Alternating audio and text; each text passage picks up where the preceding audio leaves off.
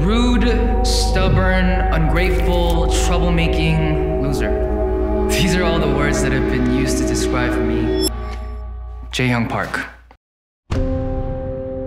Most of you know me as eaJ or Jae of Day 6, and I've spent much of my life in the public eye making a case for who I am as a singer songwriter, K pop star, and a human being just like you.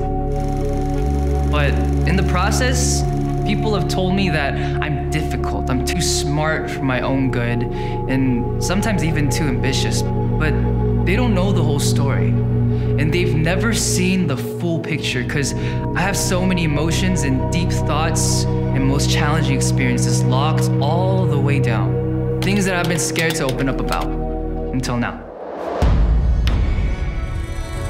Through my Mindset audio collection, I want you to get to know the real me.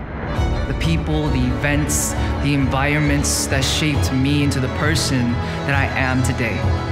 And we're getting into the nitty gritty but my hope is that through stories of my highs and my lows and the challenges that I've faced, you'll come to better understand how I've overcome and am overcoming my deeply personal challenges, how I became eaJ or Jae of Day 6, and how my mindset has kept me on the path to becoming the person that I want to be.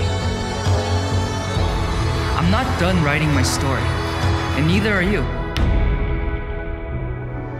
My name is Jae Hyung Park, and welcome to my mindset.